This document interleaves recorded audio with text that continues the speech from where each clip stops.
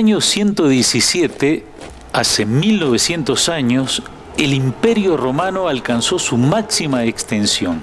El emperador Trajano reinaba sobre unos 88 millones de habitantes en una superficie de 6.500.000 kilómetros cuadrados que abarcaba zonas de Europa, Asia y África alrededor del mar Mediterráneo. Gran parte de ese territorio fue conquistado por las legiones romanas, que lograron imponerse por medio de su organización, su disciplina, su estrategia militar y su armamento. Dentro del ejército romano, la unidad principal era la centuria, formada por unos 80 soldados, no 100 como haría pensar el nombre. Al mando de cada centuria había un centurión, oficial que era elegido por sus cualidades de resistencia, temple y mando. Julio César elegía a sus centuriones basándose en el valor que mostraban en el campo de batalla. El centurión debía inspirar a los legionarios en el momento de la lucha contra el enemigo,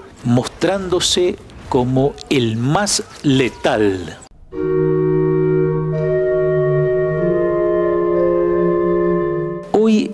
Miramos al Domingo de Ramos, con el que comenzamos la Semana Santa. El Evangelio que escuchamos este domingo es el relato de la pasión según San Marcos. Allí, un centurión del ejército romano tendrá un papel muy importante, pero ya llegaremos allí. Los cuatro evangelios nos relatan la pasión de Cristo, es decir, el proceso por el cual Jesús va pasando hasta su muerte en la cruz. Cada uno de los evangelistas pinta el cuadro con sus propios colores, poniendo diferentes acentos. En San Juan resplandece la divinidad de Jesús. En Lucas la misericordia. Mateo sigue muy fielmente a Marcos, pero en muchos detalles es más benevolente, porque Marcos nos muestra con mucha crudeza un Jesús escarnecido, sufriente, abandonado. Un Jesús muy, muy humano, pero que sin embargo, sin embargo, no, no nos adelantemos.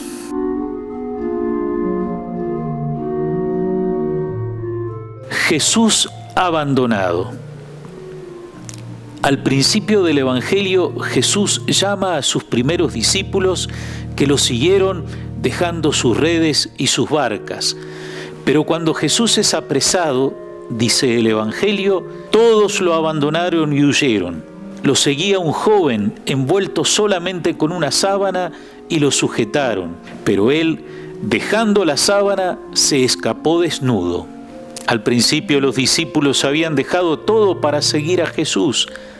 Ahora lo abandonan y uno deja hasta la ropa con tal de escapar de la suerte de Jesús. Pedro lo niega, se puso a maldecir y a jurar que no conocía a ese hombre del que estaban hablando.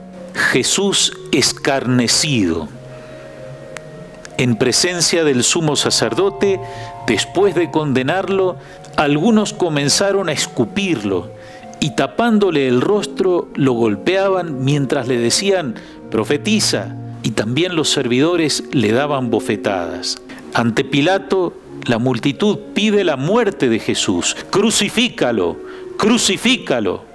Antes de crucificarlo, la guardia romana se burla de él lo vistieron con un manto de púrpura, hicieron una corona de espinas y se la colocaron y comenzaron a saludarlo. Salud, rey de los judíos. Y le golpeaban la cabeza con una caña, le escupían y doblando la rodilla le rendían homenaje. Ya en la cruz los que pasaban lo insultaban. Los sumos sacerdotes y los escribas se burlaban. También lo insultaban los que habían sido crucificados con él. Y finalmente llegó la hora. Al mediodía se oscureció toda la tierra hasta las tres de la tarde, y a esa hora Jesús exclamó en alta voz, Eloi, Eloi, lama sabactani, que significa, Dios mío, Dios mío, ¿por qué me has abandonado?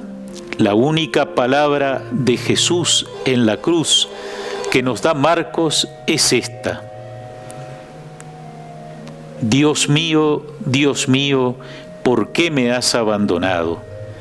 Es el comienzo del Salmo 22, pero es ante todo el grito desgarrador con el que culmina la vida terrena de Jesús. En la cruz se siente abandonado no solo por los hombres, sino también por su Padre Celestial un misterio más profundo que el abismo más hondo, una realidad tan inaudita que durante siglos la cristiandad la dejó como olvidada. Hubo una mujer creyente que escuchó en su corazón ese grito, Chiara Lubick, fundadora del movimiento de los focolares, que hizo de Jesús abandonado una de las claves de su vida espiritual. Dios mío, ¿por qué me has abandonado? En esa pregunta se pueden reconocer los interrogantes, las ansias y los dramas de todos los tiempos. Ese grito abre un espacio ilimitado, invita al encuentro. Es el grito del hombre Dios que se hizo radicalmente pobre para estar al alcance de todos y hacerse hermano de cualquiera. Con ello abre un diálogo que no excluye a nadie, a partir de lo que es más humano, la experiencia de la limitación, del sufrimiento, del dolor. Entonces Jesús dando un gran grito, expiró. El velo del templo se rasgó en dos, de arriba a abajo. Al verlo expirar así, el centurión que estaba frente a él exclamó, verdaderamente este hombre era hijo de Dios.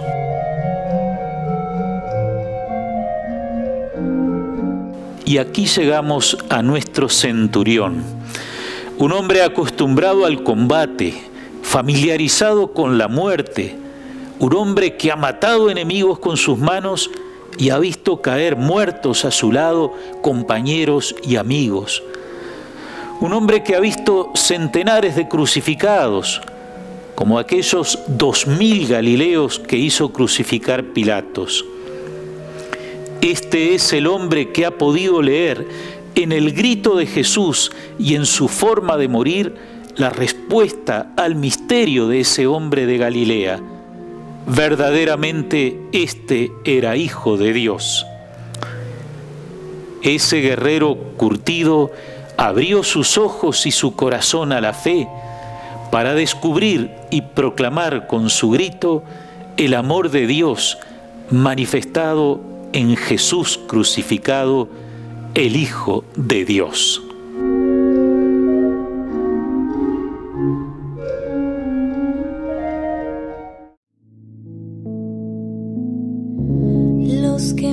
Se burlan de mí, hacen una mueca y mueven la cabeza diciendo, confío en el Señor, que lo libre, que lo salve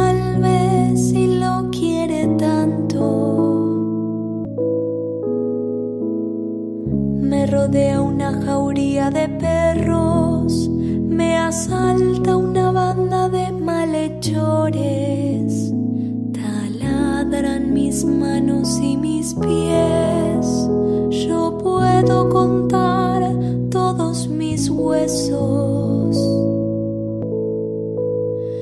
Se reparten entre sí mi ropa y sortean mi túnica, pero tú, Señor, no te quedas lejos eres mi fuerza, socorrerme. Yo anunciaré tu nombre a mis hermanos, te alabaré.